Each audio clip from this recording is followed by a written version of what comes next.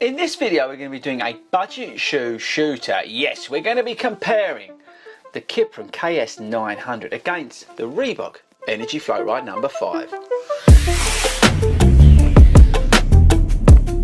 What is up everybody and welcome to Fordy Runs and one of my favourite videos that we do which is when we're looking for affordable, good running shoes. And I think I've got two very good shoes here actually. I've got the Kiprun KS900 and we've got the Reebok Energy Float Ride number 5. Both of these shoes are under £100 if you're buying them off the uh, official websites, let's call it.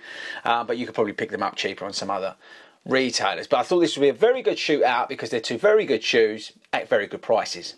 Okay, so uh, stats and features, kinda. I can't really remember too much about them. Uh, I'm not going to do a very good job here, am I? But we've got energy foam, carbon rubber outsole. I think from memory we've got either an 8 or 9 mil drop on the Reebok. Uh, we've got a 8 mil drop on the Kiprun KS900. We've got M foam cushioning. I said we've got energy foam. Uh, both are reasonably wide. This has got a torsion system that's been introduced to help some of that movement. It's also got some lateral uh, work in it as well, just again to add for some of that stability. Uh, both have got reasonable uppers on it. This is a little bit thicker in terms of uh, the rubber, uh, in terms of the upper. The rubber on this is like a machine, and this thing apparently is meant to last for a thousand kilometers. Reebok don't claim to do that in any shape or form. Uh, both fit true to size. Uh, weights they're almost identical in terms of the weights, 280, 270 odd grams around that mark, which I think is fine prices, I can't remember what I've said and what I haven't said, but that's 85 quid and that's 89.99 here in the UK.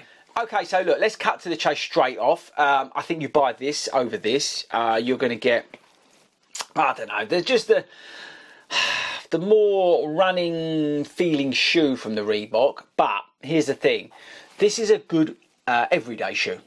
Now, what do you mean by that, Fordy? Uh, a, a, shoe that you can go to the gym, pick the kids up from dancing, you know, go to school, drop the kids off, run home, that sort of thing. This does that. Now, you can do that in that in the Reebok very much, uh, but this this gives you the option to do more stuff in it. You can do a little bit of speedier work in it. You can do a little bit of a longer run in this shoe. It will very much be able to soak some of that up, and that's why I think for me this is the pick out of these two. But there's nothing wrong with this shoe. In fact, it's very good, I think, for, for the price point. And you know what? They've done a great job of getting, you know, this amount of like tread on a shoe under 10 ounces, but also creating a shoe that they reckon, whether it does or it doesn't, it lasts a thousand kilometres. If you're going to have a shoe that's going to last you a thousand kilometres, it's going to cost you 90 or quid, then they're doing a good job. But both of these shoes are very good budget shoes actually. As i said i would go and i would steer you towards the reebok.